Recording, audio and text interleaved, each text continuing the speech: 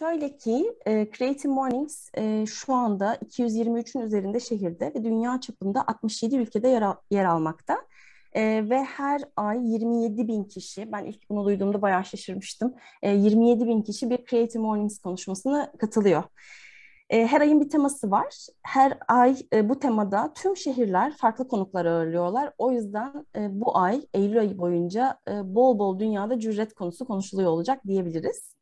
E, Türkiye'de e, İzmir'de aslında biz yaklaşık 10. sanırım 10.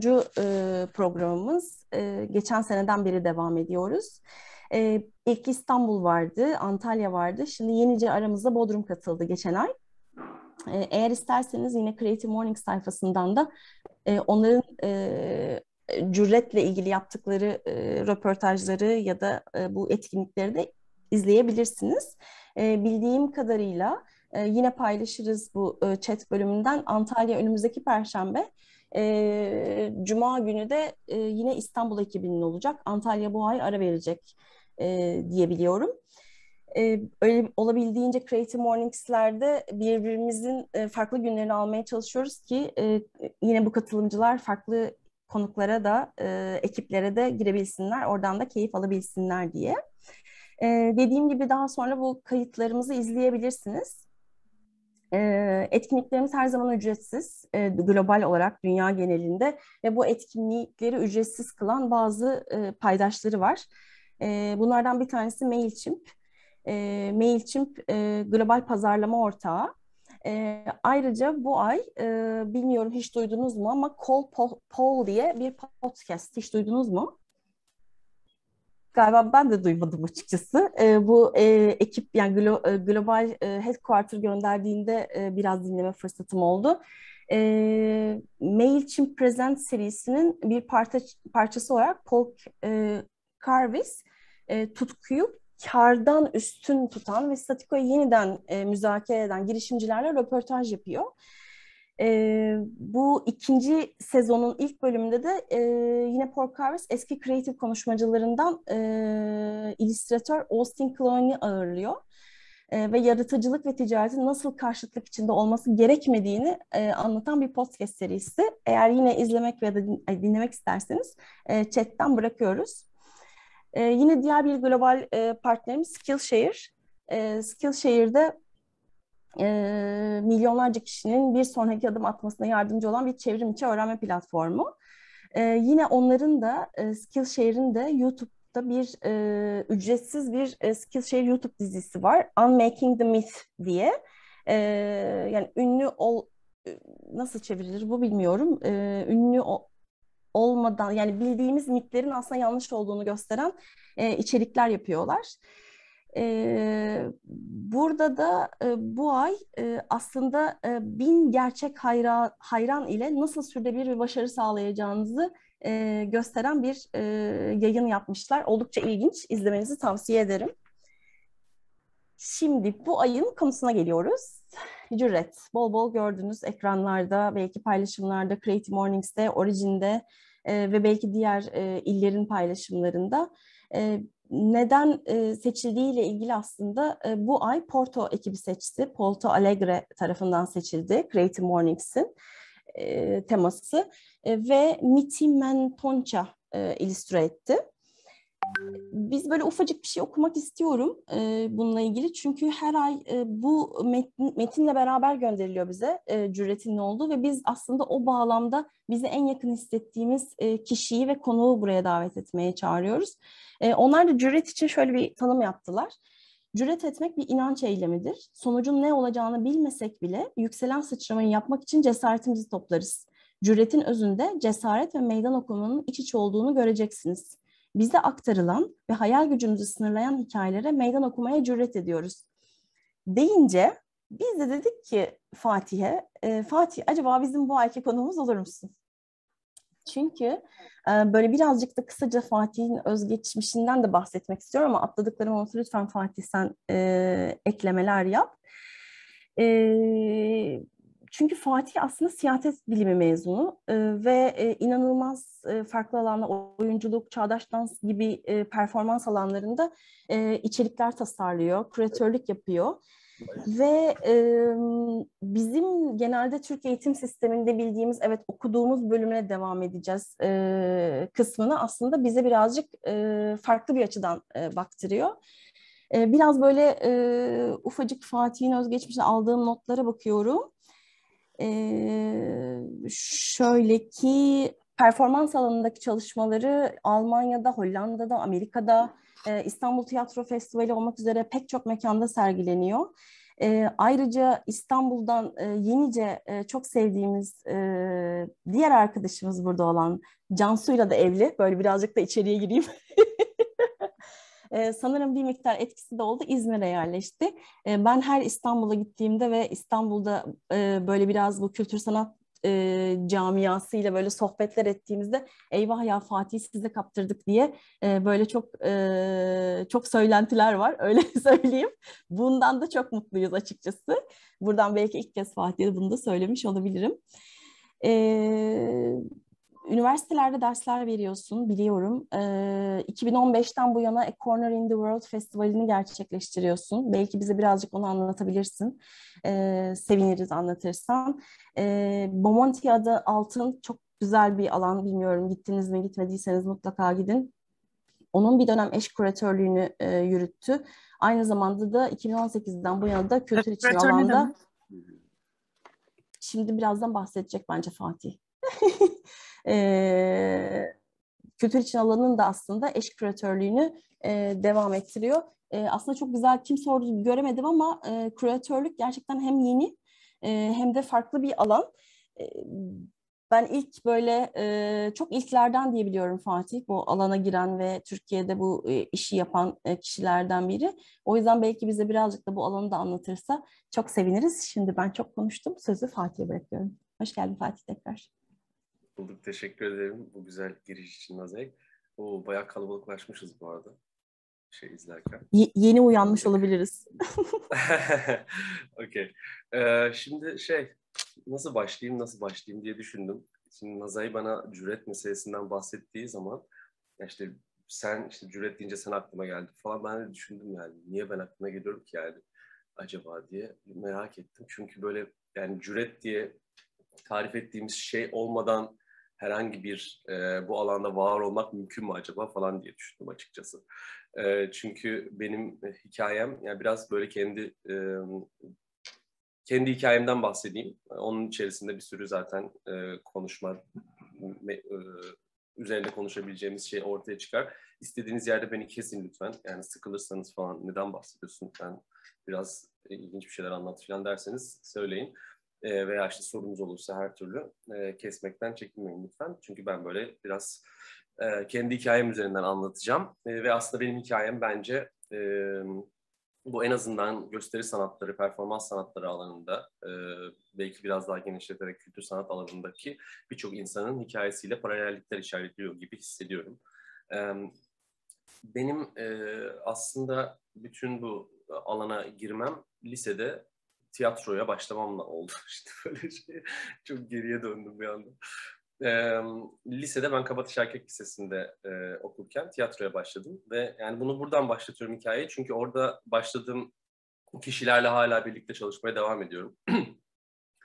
Lisede başlayan tiyatro serüvenim aslında ben e, üniversiteye girdiğim zaman e, tabii ki e, üniversitede bir e, işte oyunculuk okumak vesaire gibi bir opsiyon hiçbir zaman kafamda olmadı. Çünkü öyle bir şey e, nasıl diyeyim yani ailemin içerisinde en azından öyle bir durumun olabileceğine hiçbir ihtimal vermiyordum. Ben yani self sansür gibi aslında yani böyle bir imkan, böyle bir olasılığın olduğunu hiç düşünmedim açıkçası. Her ne kadar ilgileniyorsam da.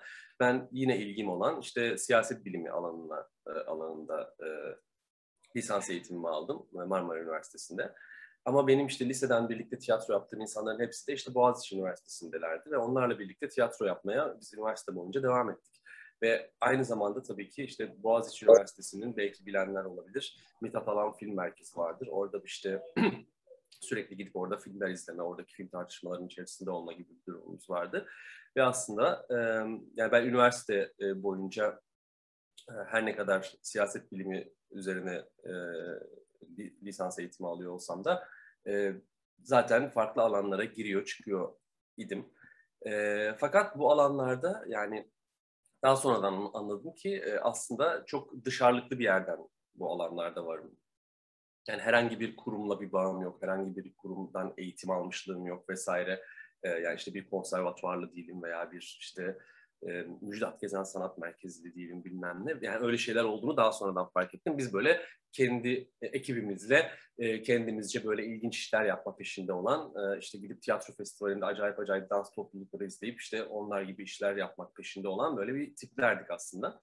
E, o anlamda da e, biraz bizim hep referanslarımız böyle daha e, Türkiye'ye gelen batıdan işler oldu. Özellikle de çağdaş şans işleri, işte avantgard tiyatro dediğimiz işler. E, o yüzden de biz böyle bir şey, e, biz diyorum böyle bir yine o liseden gelen ekip olarak konuşuyorum aslında. Hep bir böyle şey vardı yani böyle beğenmiyoruz bir şeyleri yani burada. yani burada işte insanların yaptığı tiyatroyu beğenmiyoruz, onu beğenmiyoruz, bunu beğenmiyoruz ve böyle bir başka bir e, bir şeyler yapmak peşindeyiz. ve o yüzden de aslında benim üniversitenin işte üçüncü sınıfında ben artık e, e, tiyatro alanında çalışmak istiyorum. Yani oyunculuk eğitimi almak istiyorum diye karar verdiğim zaman üniversitede üçüncü yılıydı. Ve bu da tabii ki e, yani birçok insan için yine olmuş olabilir. E, yani aile ile aranızda bir şey yaratıyor. E, yani sen kendi mesleğim varken e, niye gidip böyle abuk sabuk şeyler yapıyorsun? Yani kendi mesleğinde ise marangozluk sanki falan yani böyle bir uluslararası ilişkiler okuyorum alt tarafı. Yani bence 18 yaşına gelmiş hiçbir genç Türkiye'de, şimdi Nazay şey dedi yani belli bir yerden başlayıp ilerleriz dedi ama benim tanıdığım insanlar da çoğunlukla bir şey okuyup bambaşka işler yapıyorlar. Belki benim alanımla ilgili yine bir durum. Ama e, yani bence 18 yaşında bir insanın Türkiye eğitim sisteminde bir şeyin geleceğine dair bir karar vermesi böyle çok mucizevi bir e, koşulda mümkün olabilir ancak. E, çok zor Ortalamada şey. değilsiniz ama bence. Yani o yüzden cüret edenlerdensiniz. Öyle mi? Bilmiyorum. e, olabilir belki. Ama yani bu alan için dediğim gibi yani böyle bir durum olabilir diye düşünüyorum. E, neyse işte ben e, tabii ki eğitimimi e, yurt dışında almak istiyordum. Zaten benim e, 2006'da 2006'da mezun oldum e, uluslararası ilişkiler, siyaset bilimi uluslararası ilişkilerden ve e, o zamanlar e, bir yüksek lisans anlamında bir oyunculuk eğitimi yoktu. Daha sonra işte Kadir Has Üniversitesi'nde açıldı, başka işte Haliç'te vesaire farklı üniversitelerde açıldı ama o zaman yoktu. Ben de zaten meraklı değildim. Ben yurt dışında okumalıyım diye böyle bir şeyim vardı. Çünkü daha iyi bir eğitim alacağımı düşünüyordum. Bu yurt dışı ve yurt dışı meselelerini de biraz vurguluyorum. Onlarla ilgili biraz konuşmak da istiyorum daha sonra çünkü. Bununla ilgili yakın zamanda bir gitmek üzerine diye bir yazı yazmıştım. Mimesis Sahne Sanatları portalında onun linkini de gönderirim. Yani hep böyle bir şey vardır ya yani gitmek hissi vardır Türkiye'de yaşayan. Yani şu anda sorsak burada yani imkanım olsa giderim yani bu ülkeden diyece diye deriz yani bence çoğumuz. Ee, öyle bir vurgu da yapmak istiyorum. Onu ileride biraz daha açabilirim diye düşünüyorum. Ee, neyse ben işte e, yüksek lisans için e, New York'a gittim. Orada Brooklyn College'da e, oyunculuk üzerine yüksek lisans yaptım. Ve e, orada 3 yıl geçirdim. E, bu 3 yıl içerisinde tabii ki yani hiç daha önceden formal anlamda bir eğitimim yoktu. Tiyatro yapıyordum ama hiçbir zaman bir formal eğitimim yoktu. E, ilk defa bir eğitim aldım ve o yani sadece orada aldığım eğitim değil aynı zamanda işte başka gruplarla da çalıştım. Başka işte yaz okullarına da gittim oradayken işte farklı ülkelerde işte Polonya'da işte bir Grotowski Enstitüsü'yle çalıştım. işte Japonya'da e, Suzuki Company of Toga diye bir grupla çalıştım. işte New York'ta yine e, New York'un kuzeyinde, eyaletin kuzeyinde başka bir company ile çalıştım. City Company diye.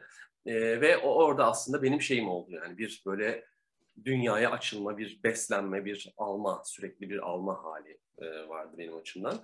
Ve çok e, tabii ki besleyici bir zamandı benim için. Oradan e, 2010 yılında e, döndüm Türkiye'ye ve aslında niyetim dönmek değildi. Yani döndüğümde 25 yaşındaydım. E, niyetim biraz daha Amerika'da kalmakta ama oradaki vize mevzularının karışıklığı ve benim de biraz toy ve ne yaptığının çok farkında olmuyor olmam aslında. Şu anda onu daha net görebiliyorum. Yani bir Türkiye'ye gideyim bakarız, işte yine Amerika'ya başvururum, şu olur bu olur bir şey olur falan diye döndüm ve dönüş o dönüş oldu biraz. E, döndükten sonra tabii şöyle bir hissiyat oluyor. Yine o e, dışarı gitme ve gelme arasındaki konuyla alakalı bir durum. Ee, şey yani Amerika'da tabii ki çok büyük bir sektör var yani. Büyük bir sektör bu ve işte şeyleri var, etiketleri var, koşulları var, durumları var. Yani böyle bir makinenin içerisinde gibi hissediyorsunuz ve buraya geldiğiniz zaman diyorsunuz ki vay okey ben burada gerçekten bir şey yapabilirim böyle ülkeme döndüm gibi bir hissiyat olmuştu bende. Ee, ve e, gerçekten de burada benim bir katkı koyabileceğim bir alan var. Ee, ve 2010 yılında da işte İstanbul Kültür Başkenti'ydi. Ee, işte Garaj İstanbul gibi e, bir sürü yer vardı yani o zamanlar çok kültür ve sanatın bence İstanbul'da doruk noktalarından bir tanesiydi diye düşünüyorum 2010 yılı. E, o işte önünde arkasındaki birkaç yıl. E, o geldiğim zaman o hareketlilik beni çok etkilemişti ve benim de burada alabileceğim bir rol var gibi e, bir hissiyat e, gelmişti aslında.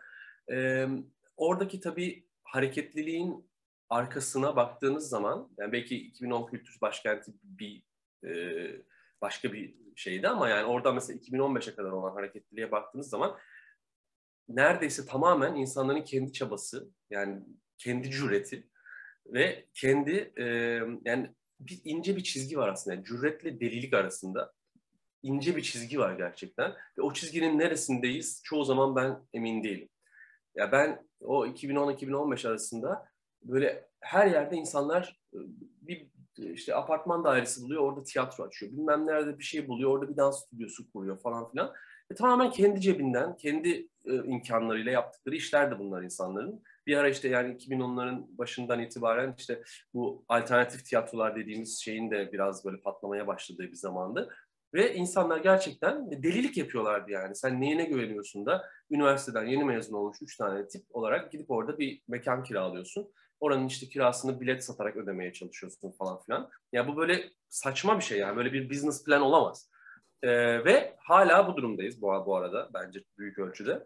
Ama e, şey yani öyle bir canlılık varken bile o canlılık çok insanların cüretine, insanların enerjisine ve insanların üretebildiği kaynağa bağlı bir hareketlilikti diye görüyorum şimdi. Ama benim de bu hoşuma gidiyordu çünkü ben zaten yani işte gencim ve e, bir şeyler yapmak peşindeyim. Bir şey, e, okey yani. Challenge'sa challenge, hadi bakalım buyurun ben bunu yapacağım gibi bir şey. Ama şöyle de bir tarafı vardı onun ben, bence. E, bir kopukluk içerisinde yani ben o alana girdiğim zaman aslında bir şeyin üzerinde durduğumu hissetmiyordum. Ee, işte yani birilerinin sırtında olduğumu ya da birilerinin bir geçmişe yaslandığımı, bir e, bir şeyin devamı olduğumu vesaire değil de yani ben bir şey başlatıyorum gibi hissediyordum. Yani birçok insan içinde bence bu böyle yani mesela en fazla 80'lere kadar falan götürebiliyorsun öyle bir şeyi. En azından çağdaş gösteri sanatları alanından bahsettim. Yani çok tiyatro biraz daha belki o anlamda kökenleri olan bir şey ama yani hep böyle bir e, tarihsizlik, bir köksüzlük hali var. Yani bir jenerasyon geliyor, geliyor, geliyor, geliyor bir şeyler yapıyor, yapıyor, yapıyor, yapıyor. O 2015'ten sonra yavaş yavaş tık tık tık tık dökülmeye başlıyor ve başka bir jenerasyon gelmeye başlıyor. Ve insanlar ya işte son 5 yılda özellikle çok yurt dışına gittiler. Ee, yani kaçtılar bir bayağı. Ee, veya işte alandan çıkan çok fazla insan oldu ama yani en azından gösteri sanatları alanında böyle bir şey var yani. Geliyor birileri saldırıyor enerjisi yettiği kadar, enerjisi bittiği zaman ya çekiliyor ya gidiyor başka bir yerde sürdürmek için. Çünkü bu insanlar çok donanımlı, çok iyi işler yapan da insanlar bir yandan. Böyle bir patern görüyorum aslında. Yani bu paternin ben de bir şekilde parçası hissediyorum aslında. Ee, neyse işte ben bunu e, sonra bir şekilde şöyle bir durum oldu tabii. Yani ben işte oyuncu olarak eğitim almışım. Oyunculuk yapmaya çalışıyorum. İşte farklı yerlerle çalışmaya çalışıyorum vesaire. Ama bir böyle bir e, tatminsizlik var yine de. Yani daha şeyden gelen bir tatminsizlik yani bir şeyleri beğenme durumu anlatmıştım ya. Oradan gelen bir tatminsizlik var ve ben bunu en sonunda tabii ülkeye de bir süre sonra döndükten sonra karşılaştığım durumlar vesaireler e, yurt dışında yaşayanlar bilirler belki yani yurt dışından geri döndüğüm zaman böyle yani her şey aynı kalmış. Burada bir şey değişmemiş ve böyle e, eski alışkanlıklar, eski durumlarla karşılaştığının verdiği bir his vardır. Yani aslında o histen benim e, ortaya çıkan ilk e, performans işimi yapmamışım diye 2012 yılında. E, ve o, onunla birlikte aslında biraz bir yönetmenliğe veya işte e, sahne de üretim yapan, performans üreten bir e, kimliğe doğru ilerlemeye başladım oyuncu kimliğinden. O İstanbul Tiyatro Festivali'nde gösterildi ve yurt dışında birçok festivalde gösterildi. Çünkü çok ilginç bir konusu vardı. E, 90'lı yıllarda e, 90'lı yıllarda işte büyümüş olan e, neslin hikayelerinden oluşuyordu. Beş tane sanatçı var. Bunlar işte 80'lerde doğmuşlar ve 90'larda ilk gençliklerini ve ergenliklerini yaşamışlar. Onların kişisel hikayelerinden oluşan işte çok fazla e, 90'lar e, e, hem görsellerini hem kültürel malzemelerini kullanan e, böyle çok keyifli yani çok 90'lara dair bir görselliği olan bir işti. E, ve tabii ki yurt dışında da çok ilgi çekti. Çünkü e, Gezi'nin de özellikle olduğu zamanlar herkes işte Türkiye'de neler oluyor, bu nesil neler yapıyor vesaire konuşuyorlardı. E, daha doğrusu yurt dışında daha çok ilgi çekti Türkiye'de e, ilgiden. E, onunla birlikte işte benim başlayan bir eğitmenlik Evet, ben zaten yapıyordum bu arada pardon onu atladım. bir yönetmenlik serüvenim başladı ve 2014 yılında yine bir o delilik furyasına katılarak bir mekan tuttuk Kadıköy Yel Değirmeni'nde. Çünkü neden mekan tutuyoruz? Aslında insanlar da neden bu deliliği yapıyorlar? Çünkü yer yok. Yani çalışabilecekleri yer yok insanların. prova yapabilecekleri, gösterilerini sergileyebilecekleri yerler yok. büyük ölçüde. Biraz mecburiyetten gibi değil mi? Biraz, Biraz da kısıtlamalardan. Evet, evet. Yani ben öyle düşünüyorum. Yani çünkü biz de onu yaparken öyle yaptık yani. Bir gösteri yapacağız. Yani şu anda durum biraz daha farklı. Çok daha fazla alan var. Ama o zamanlar herkes o alanları kendileri yaratıyordu. ya gerçi yine kendileri yaratıyorlar bu arada ama daha fazla insan, daha fazla alan yaratılmış olduğu için en azından e, şu anda biraz daha durum farklı. Ama o orada işte yapmak istediğim şey bir prova alanımız olsun. Sonra o prova alanını ve çalışma alanını ve sergileme alanını açtığın zaman anlıyorsun ki kirayı ödemen gerekiyor. Su faturasını ödemen gerekiyor. Bilmem ne ödemen gerekiyor. Ve okey demek ki bir gelirin olması lazım. Ha okey. O zaman bilet satmaya başlıyorsun. Ha okey. O zaman ne yapman gerekiyor? Aylık program yapman gerekiyor. Programlama yapman gerekiyor. Ve orada ben programlama yapmaya başladım. Yani köşenin programlamasını ben yapıyordum. Ve köşedeki espri aslında yel değirmenini biliyorsunuz. Yani o zamanlar yel değirmeninin ilk canlanmaya başladığı zamanlarda 2014 yılında biz gittik. Ee, ve orada etrafımızda bir sürü işte sanatçı atölyesi, değişik kafe, e, bir sürü farklı alan vardı aslında beslendiğimiz ve yapmak istediğimiz alanda biraz böyle bütün disiplinlerin yer bulduğu bir alandı yani o zamanlar çok fazla bunu tiyatrocular yapıyordu daha çok ee, yani en azından benim kendi çevremde yani ben de bir tiyatrocu olarak geldiğim için alana söylüyorum ee, o, o tiyatrocuların açtığı alanlarda tiyatro oyunları oynanıyordu yani bizim yaptığımız yerde ise işte dans gösterileri de olsun sergilerde olsun konserlerde olsun işte gene tiyatro oyunları da olsun söyleşilerde olsun daha çeşitli bir program yapalım istiyorduk. Çünkü zaten etrafımızda böyle insanlar vardı. Böyle insanları merak ediyorduk, bir ilişki kuruyorduk ve bunun eksik olduğunu hissediyorduk aslında Türkiye'de. Ee, en azından tiyatro alanında çok kapalı bir alan olduğunu düşünüyorduk ve görüyorduk. Ve bu alanı diğer alanlarla daha fazla bağlantı içerisinde nasıl, yani birbirlerinden en azından beslenecekleri bir ortamı nasıl kurabiliriz diye düşünüyorduk. Ve böyle bir alan, böyle bir programlama yapıyorduk. O programlamadan da ben sorumluydum köşede. Ve o programlamadan sorumlu oldukça aslında şimdi adına küratör demeye başladığımız bir e, seçici yani bir seçmenin içerisindeki sanatsal tarafı keşfetmeye başladım yani bir, bir şeyleri neleri alıp buraya koyuyoruz neleri nasıl insanlara sergiliyoruz yani işte kürasyonun çok basit tanımlarından biri olabilir belki diye düşünüyorum. Orada e, o köşe bir yıl boyunca yaşadı. Çünkü üst kattaki komşumuz e, rahatsız oldu. insanların çok kimin girip çıktığının belli olmamasından tırnak içinde. Ve bizi şikayet ederek kapattırdı. Bu da bu arada çok random bir şey. Çok böyle herkesin başına gelebilecek bir şey yani. Çünkü sizin bir tiyatro ruhsatı almanıza imkan yok. Şu anda bilmiyorum mevzuatı ama o zaman öyleydi. Ee, işte yani işte yok yangın merdiveninden yok bilmem neye yani klasik anlamda tiyatro salonlarına verilebilen bir şey ve senin orada herhangi bir mekanda e, o ruhsatı almana imkan yoktu ve bu ruhsat olmadan da senin yaptığın gösterilerin hepsi illegal. Yani aslında bugün çıkıp hepsini kapattırabiliriz birçok şeyi. Tiyatroyu öyle bir niyeti olan varsa bunu buradan belirteyim. Söylemeseydin iyiydi.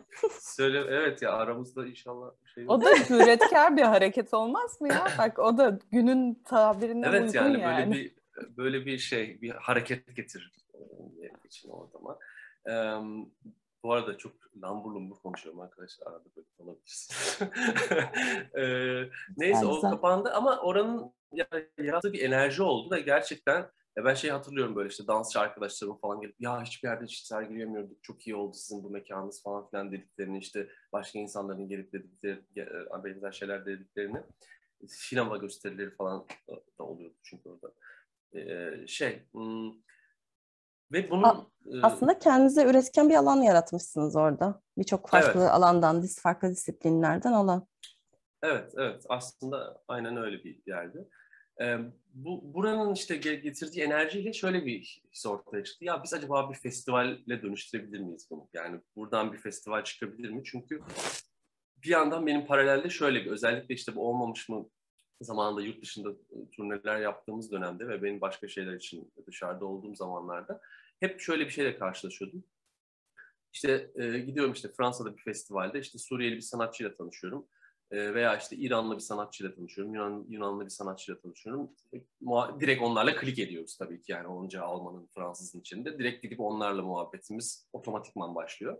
Ve şey diyorlar bana hep yani biz hiç Türkiye'ye gelmedik, hiç Türkiye'de işimizi göstermedik, Türkiye'den de hiçbir iş görmedik falan. E ben de diyorum ya bu, bu çok saçma bir şey yani. Sen gidip Almanya'da Fransa'dan bir iş görmeme imkanın var mı ya da Fransa'da işte Avusturya'dan bir iş görmeme. Yani yakın coğrafyamızdaki sanatçıları hiç tanımıyoruz, hiç merak etmiyoruz. Ee, ve ben gösteri sanatları alanında bu alanda Türkiye'de bir şey izlemedim yani. Ee, şimdi büyük konuşuyorum ama muhtemelen gelmiştir bir şekilde bir şey olmuştur ama yani İstanbul Tiyatro Festivali diye bir festival var bu ülkede uzun yıllardır. Benim de onu izleyerek büyüdüğüm ve bütün tiyatro algımı, hayallerimi aslında besleyen festival. Ben orada hiç Türkiye'nin yakın coğrafyasından bir iş görmedim. Avrupa'dan gördüm, Amerika'dan gördüm, en iyi ihtimal Japonya'dan gördüm falan. Böyle yerlerden işler, daha büyük işler getiriyorlar. Ve onun alternatifi bir yani bir off festival bile çok yoktu o zaman 2014-15 yıllarında. Ya tabii olmuş olanlar da var bu arada yani hiç yok değil. İdans diye bir şey oldu mesela Türkiye'de. Ee, yıllarca işte kaç yıl sürdü emin değilim ama 2007'den 2010-12'ye kadar falan sürdü sanırım.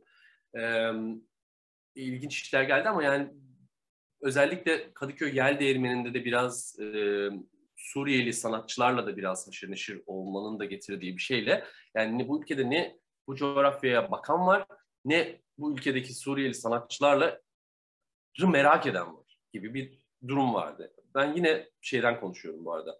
Gösteri sanatları alanı çerçevesinden konuşuyorum. Biraz daha işte görsel sanatlarda e, farklı bir durum olduğunu düşünüyorum aslında. Ama e, böyle bir şey, yani bu sene gelmiş buraya harika sanatçılarla tanıştım ve böyle Syrian refugee olarak bakılan insanlar bunlar. Hiçbir şekilde bir iş üretmeleri çok zor. E, işte Artier diye bir yer vardı Yel Değirmeni'nde ve onlar da işte e, Omar Beraktar diye e, Suriyeli bir fotoğrafçının açtığı bir e, kafe ve e, sanat mekanıydı. E, orada çok fazla sanatçıyla aşırı neşir oluyorduk. Hatta orada festivalimizde de orada işler gösterdik.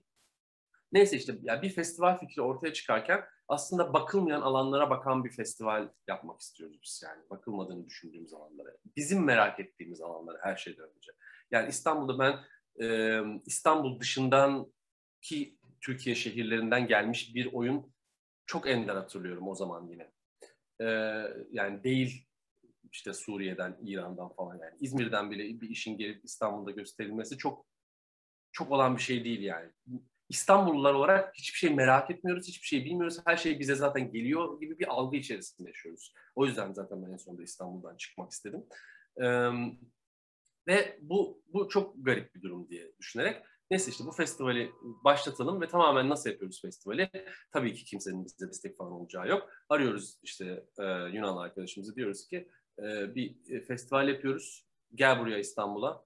E, al uçak biletini. Biz sana burada kalacak yer ayarlayalım. Biz sana mekan ayarlayalım. Gel burada bir iş üret. Onu festivalde koyalım.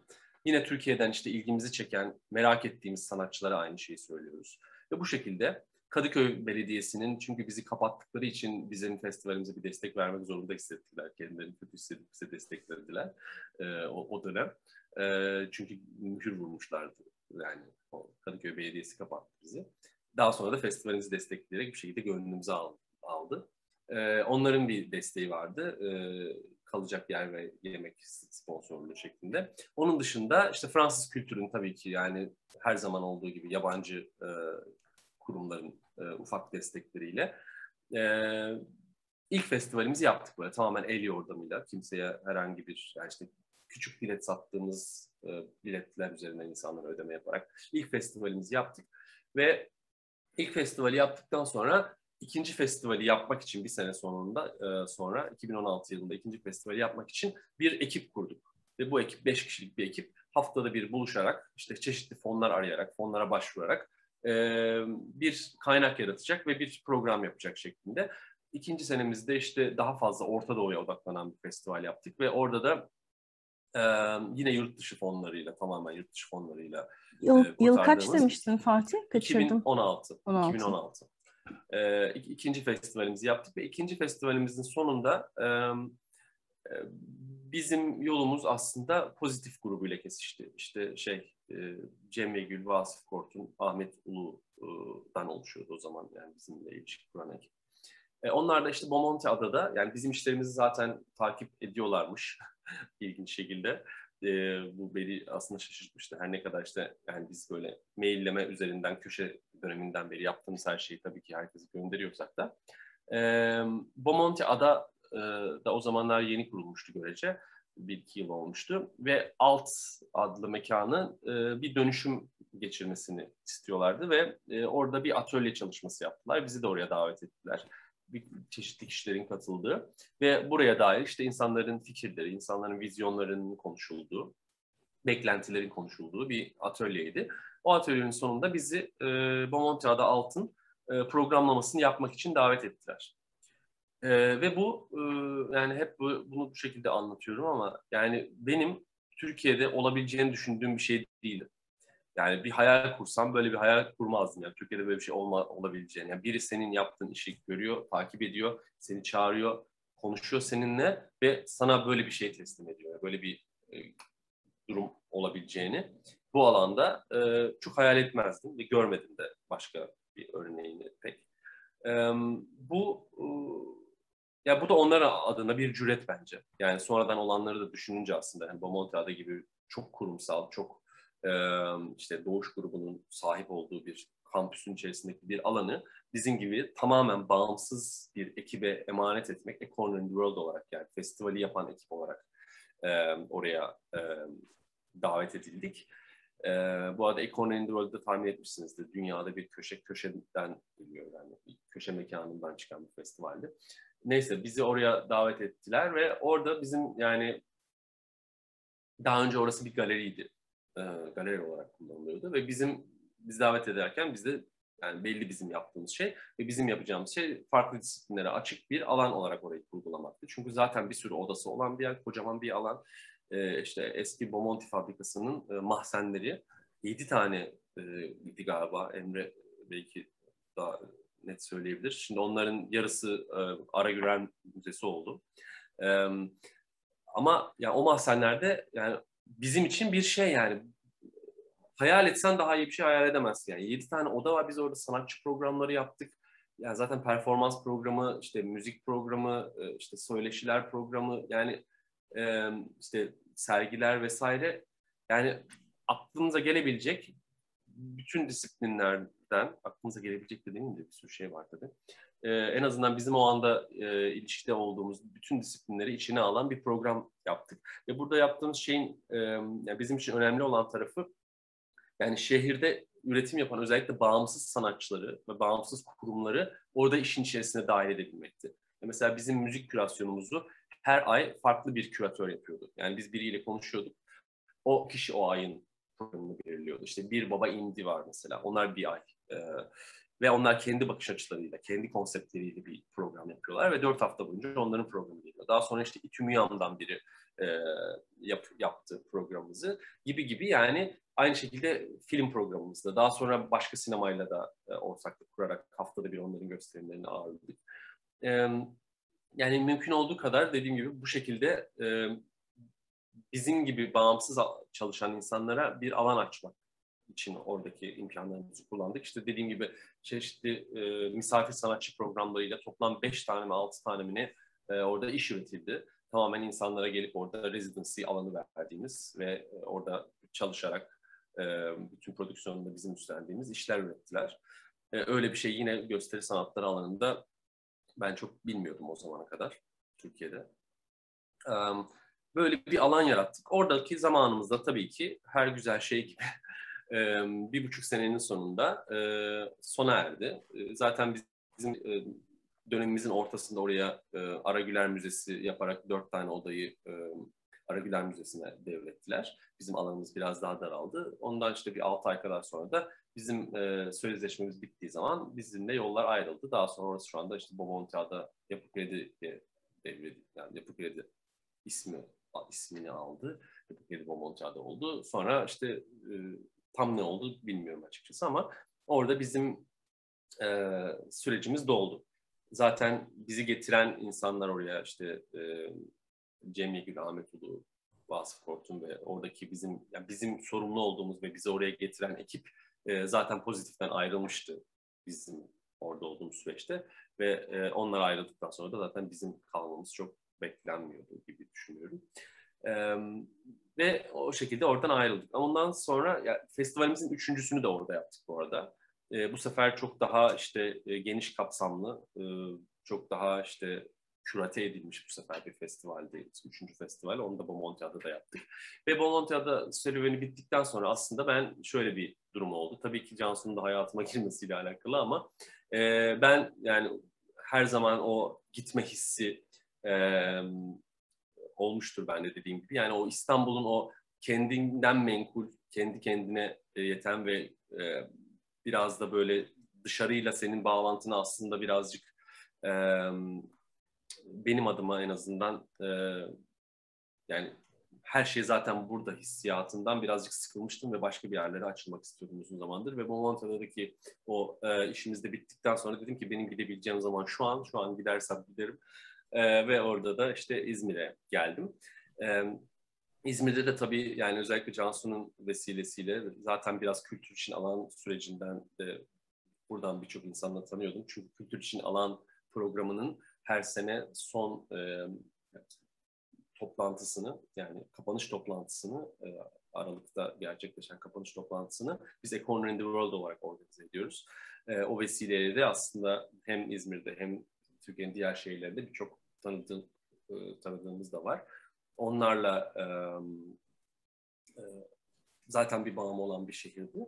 Ve buraya geldikten sonra tabii ki pandemi oldu. o anlamda çok böyle ah burada da şunları yaptım, bunları yaptım çok diyemiyorum ama e, ilk geldiğim sene yaptığımız bir e, küçük bir mini festival var. İstanbul ve İzmir ayağı olan e, Tandem projesi kapsamında yaptığımız. İran'dan dans, çağdaş dans sanatçılarını Türkiye'ye getirdiğimiz ve işte hem İzmir'de hem de İstanbul'daki diğer dansçılarla e, bir arada onların işlerini sergileyeceğimiz bir festival yaptık 2019 yılında.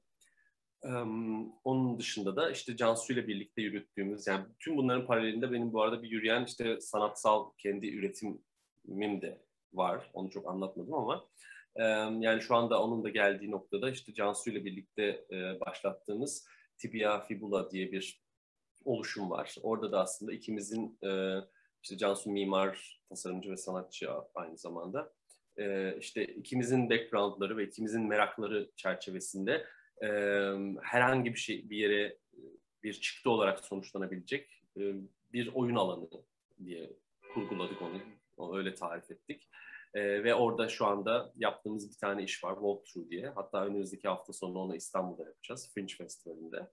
E, ve bu tamamen bir bilgisayar oyunu görselliğinde şehrin içerisinde yürüyen bir bedeni seyircinin e, yönlendirmeleriyle istediği şekilde e, yani yönlendirmesine dayalı e, bir iş değil.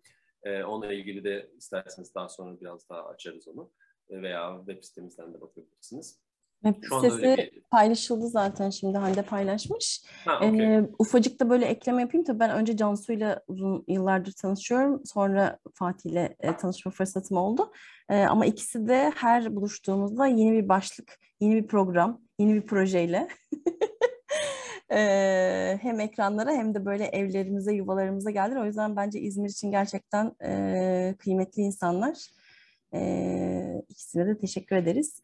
Böyle biraz chatten de gidebiliriz belki Fatih. E, çünkü evet, böyle delilik ve e, neydi Özlem'in söylediği ve Öykü'nün söylediği birkaç şey vardı orada. Deli olmadan cüretkar olunamıyor mesela. E, katılıyor musun? Ya da katılan var mı arkadaşlar? Deli Yani- değilsen ona cesaret deniyor. Bence güzel olmuş. Yani bilmiyorum, katılıyorum galiba. Yani olunabiliyordur belki de ama işte Yani bu cesaretle cüretkarlığı ayırma noktası gerekiyor ya bir tane yani hani cüretkar ne meydan okuyan diyorsak eğer hani e, saygısızca davranan değil de daha çok hani olmayacak bir işe hani deli cesaretiyle giren. Hani öteki zaten cesaret ya. Hani ne bileyim korktuğun bir yere giriyorsun bir cesaret zaten. Hani cüretkarlık delilik gerektiriyor bence. Bu arada biz de e, bu tema e, ilk açıklandığında e, Courage'la Dare arasındaki işte e, şeyi bayağı bir tartıştık ekip içerisinde ve yani gerçekten Dare'e cüret demek e, cüretin arkasındaki işte o delilik, e, o hani e, gerçekten bize şeyi konuştuk. Türkçe'de cüret dediğinde hep saygısızlıkla bağdaştırılıyor ve Evet. yani bundan çok rahatsızlık duyduğumuzu hissettik. Hı hı. Acaba cüret dersek gerçekten yanlış anlaşılır mı dedik ama sonra biz dedik ki evet gerçekten cüret demeliyiz. Çünkü cüret etmek aslında saygısızlık veya olmadığın bir şeye veya hak etmediğin bir şeye gitmek değil. Ee, tam olarak işte o arkasındaki o e, delilik ve böyle kafayı sıyırma ile cüret etme. O yüzden ben de o yorumu görünce çok açıkçası aa dedim biz de aynı şeyleri düşündük. Çok hoşuma. Evet. Ee, bu arada şey İstanbul ekibinin hostu Emre'de. Ee, önümüzdeki cuma günü onlar bilmiyorum kimi ağırlayacaksınız. Sürpriz Büşra? Cebeci'yi Büşra Cebeci'yi ağırlayacağız. Bugün duyurmayı planlıyoruz. Harika. henüz etkinliklerimizi açmadık ama Büşra Cebeci de belki biliyorsunuzdur bir gazeteci. Ee, o da yakın zamanda yazdıkları kitapla e, inşallah e, böyle herkes istediği gibi yaşasın diye bir kitapları var Nevşin Mengü'yle biliyorsunuz belki.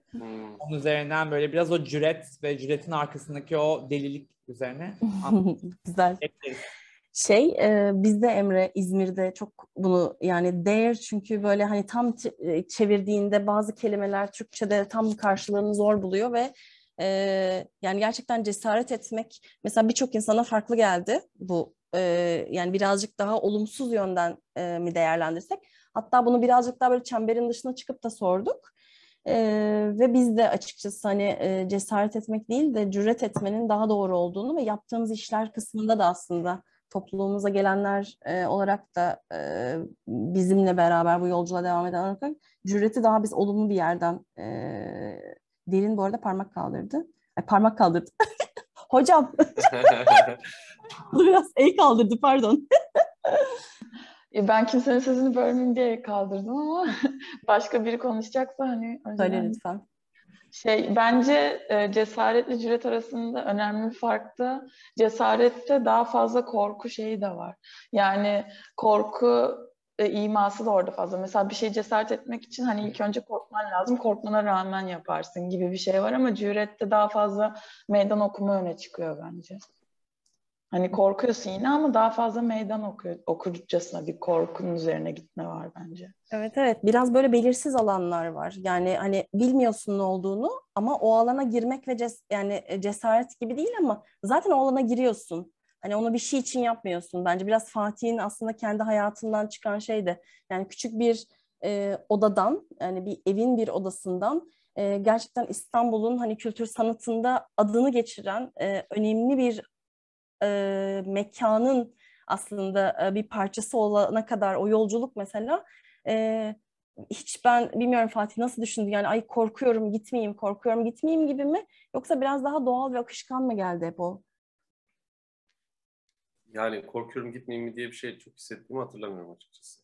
Em, yani o yüzden de işte şey dedim ya başta yani zaten bu alanda çalışan biri için çok normal şeyler bunlar gibi. yani zaten e, bunun koşulu bu bir yandan. E, yani bu böyle yapmazsan yani işte ben e, zaten yapılacak bir iş değil. ne rezilmiş bu da be. E, e, yani bir şeyi yok e, demeye çalışıyorum.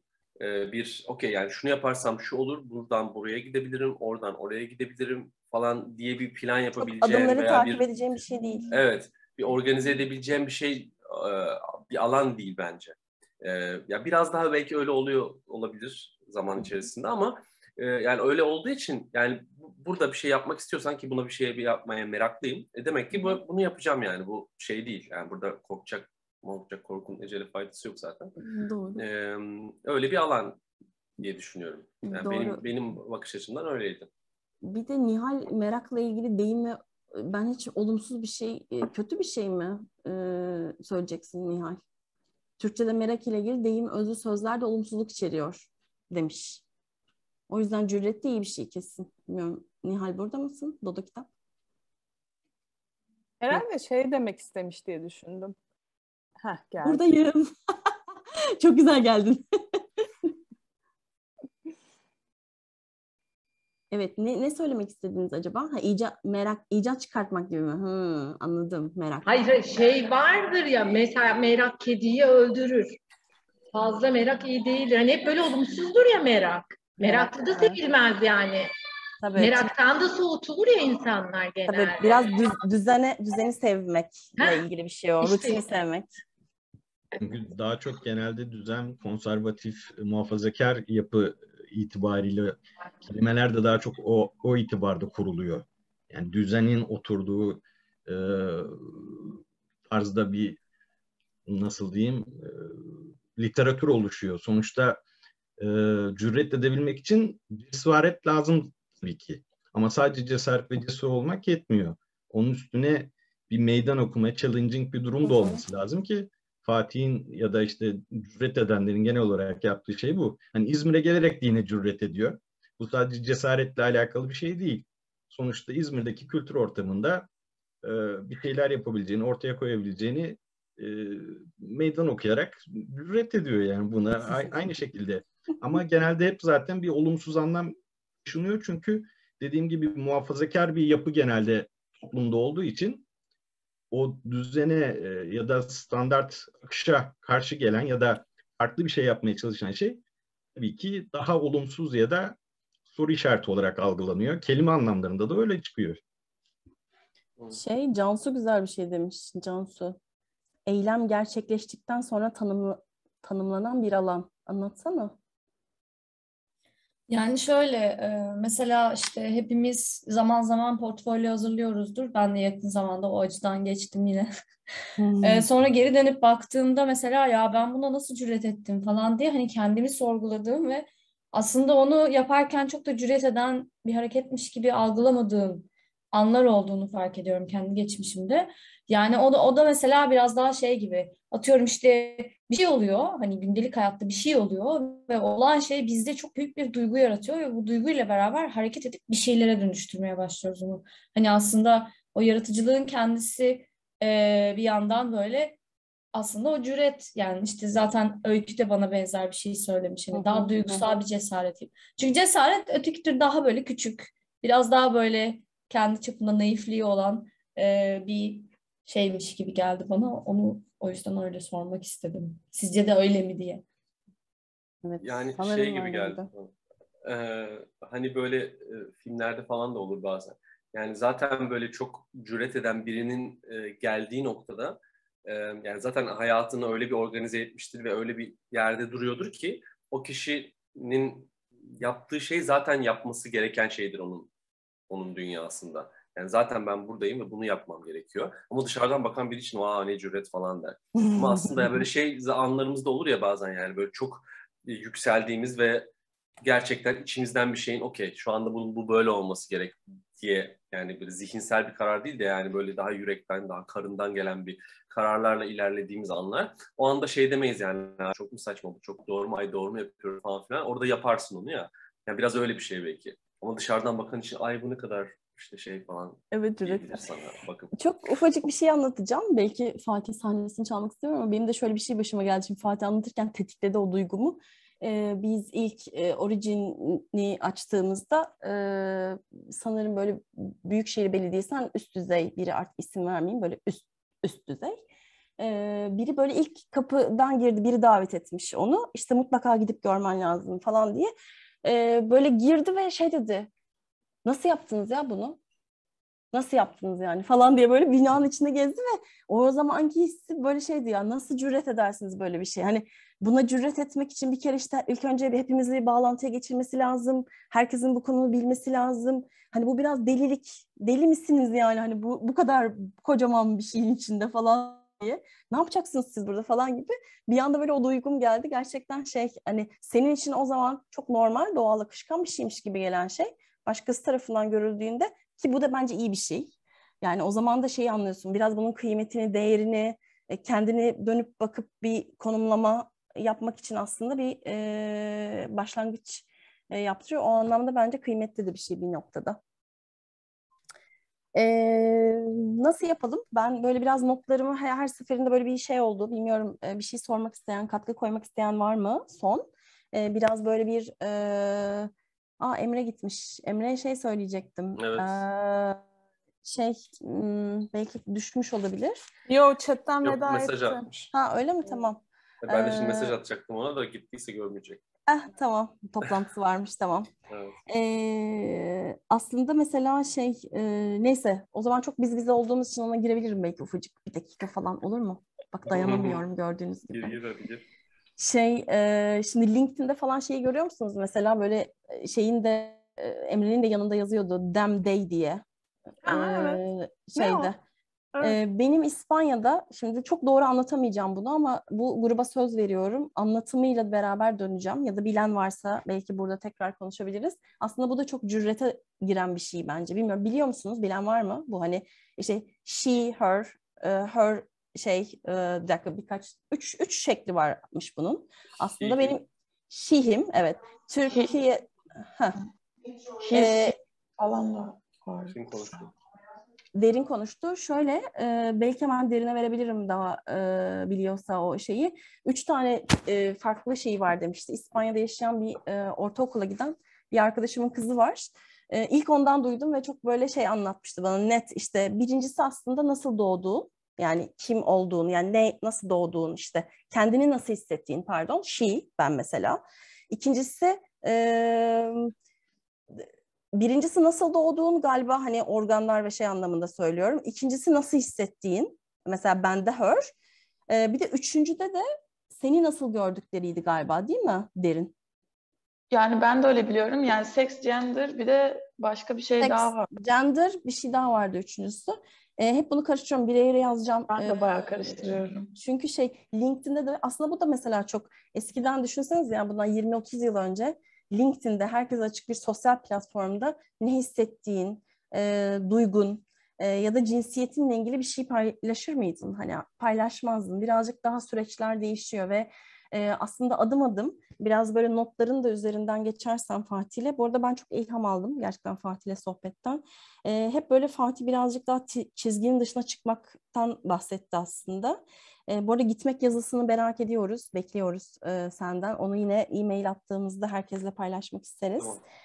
E, ve cüret ve delilik arasında ince bir çizgi var. Hani böyle bunu biraz böyle konuştuk gerçekten. E, deli olmadan cüretkar olunamıyor, güzel bir şey. E, cüret duygusal bir cesaret öykünün dediği gibi. Yani evet içinde mutlaka duygunun da barındırdığı. Çünkü seni birazcık daha fiziksel olarak da o işe yapmaya motive eden ve iten güç e, aslında orada belki arkasındaki duygusallık. E, sınırlılıktan aslında böyle sınırlılık demese bile Fatih'ten ben çok böyle hep böyle yapmaya çalıştığı şeylerin aslında imkansızlık, sınırlık ya da verilen imkanın dışına çıkma, taşma e, isteği gibi e, duydum. Ve e, gerçekten sınırın ötesinde birileriyle tanışmak, o işleri keşfetmek, o sanatçıları e, bulmak, getirmek ya da kendine tekrar bir şey katmak için bu sadece belki Fatih'te değil, hani bu ekranın içindeki herkes için e, geçerli. Hepimizin yolculukları var. İşte mesela Nihal'in bir Dodo Kitap diye bir yeri var ve ne kadar e, onun e, büyük bir mücadele verdiğini biliyoruz. E, hepimizin de aslında bu ekranda gördüğüm herkesin de hem farklı işleri var. Mesela Öykü bize Litvanya'dan katılıyor. E, tekrar oraya öğrenmek için e, giden e, illüstratör bir arkadaşımız mesela. E, gibi gibi aslında e, bu ekrandaki insanların hep, hemen hemen hepsinde bir sınır ötesine taşma e, isteği de e, görüyorum. O yüzden çok ba- bağ da kurduğumu söylemek istiyorum. E, farklı bakış açıları geliştirme ve keşfetme arzusu da böyle, böyle büyük büyük puntolarla e, yazdığım ve not düştüğüm bir şey olmuş. Teşekkür ediyoruz e, bugünkü katkın, katılımın, e, ilham olduğun için. Umarız bu videomuz e, çoklarıyla buluşur. E, buluşmasa da bence şu anda hali hazırda buluşanlara, e, buluşanların içinde bir şey yarattı diye düşünüyorum. E, senin ilk o Bomonti adı alta e, beni küratör olarak e, yerleştirdiler dediğindeki o duygun ve şeyin gerçekten benim çok böyle içimi titretti. E, çok bu tarafa geçti. Keşke bunu fiziksel olarak yapabilseydik de e, böyle bir bir sarılsaydık ya falan. Türk'üm ben bir sarılmak istiyorum. o da olur inşallah yakında. Olur. Umarız yakın zamanda bunu bile e, böyle fiziksel olarak da yapabiliriz. Var mı bilmiyorum bir şey söylemek isteyen yoksa e, Hande'cim böyle bir müzik verebiliriz. Bu arada e, listemiz var e, dinlemek isterseniz her ay Creative Mornings çünkü bir Spotify listesi yayınlıyor temaya özel. E, onu da yine sizle maille paylaşacağız.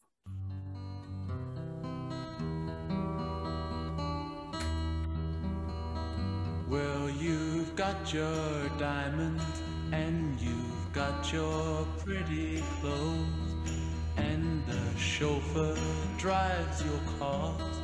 You let everybody know, but don't play with me, cause you're playing with fire. Your mother,